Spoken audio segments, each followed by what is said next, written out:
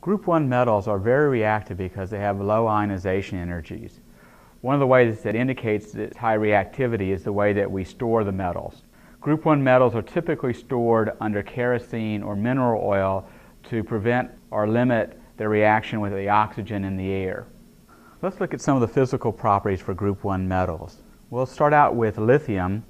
The lithium is coated at this point in time with a layer of both the oxide and the nitride and we end up with a fairly dull gray appearance. Group 1 metals tend to be relatively soft, and we can easily cut the metal with a knife. What we can do is we can see the shiny metallic surface underneath. If we bring in a conductivity tester, we can see that the lithium is an excellent conductor of electricity.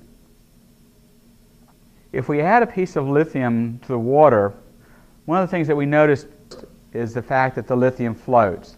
Group 1 metals are less dense than water. We also see that the lithium reacts very rapidly with the water. This is a single displacement reaction producing hydrogen gas and lithium hydroxide.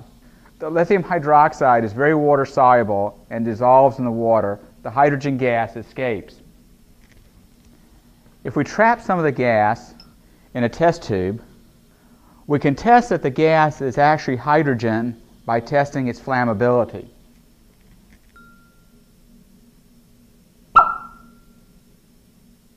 We can test that lithium hydroxide has been produced by adding an acid-base indicator. If we add some phenolphthalein, phenolphthalein is colorless in acid and red-purple in base, we can tell that the solution is basic due to the formation of the lithium hydroxide.